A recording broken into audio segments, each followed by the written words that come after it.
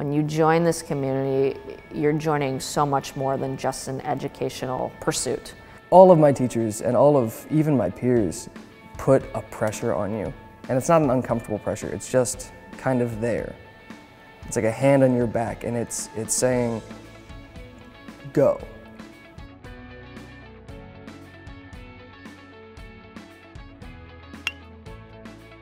My favorite thing about the upper school would have to be the teachers. They are there for you uh, through thick and thin. The atmosphere here is amazing. Uh, there's such a level of cooperation between students on everything from projects to just helping someone out with a homework assignment for a class. This is a collaborative, helpful place.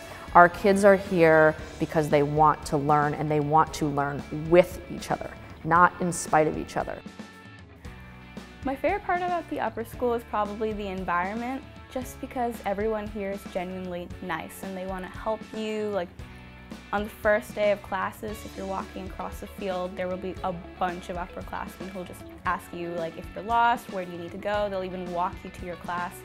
Everyone here is super helpful. Everyone here wants to work together to make the environment the best it can be.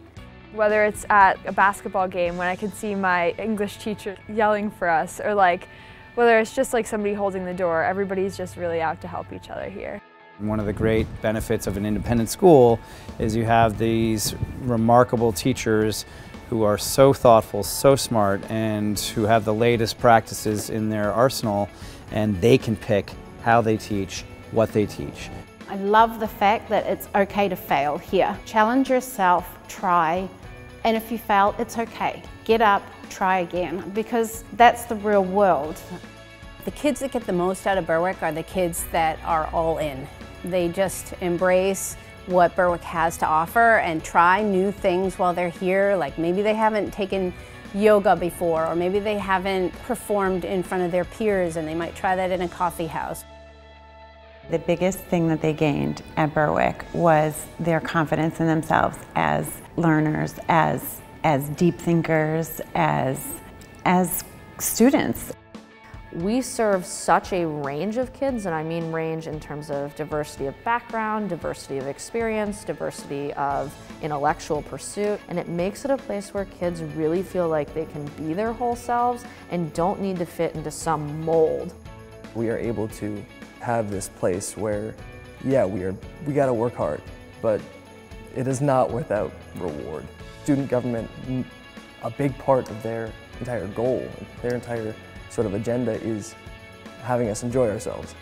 So once or twice a trimester, we hold what's essentially kind of like an open mic night. It's run by student leaders, uh, emceed by students, and we have students perform any number of things. We've got guitar, we've got a cappella, we've got stand-up comedy. The school gets us to be used to working really hard and enjoy working really hard. And then when we get to college and when we get to the world beyond college, it is either as hard as we've been working or a little bit less. And I will ask every one of the alums that come back, how's it going, how's, how's school? And they say uniformly, I was so well prepared for college. If you're an artist or you're an athlete, or if you're someone who's into using your hands and making things, we have something for everybody. Our Berwick upper schoolers in particular are incredibly well-rounded and can walk into, I think, most any situation and, and do well there. Big B on three. One, two, three. B. Woo!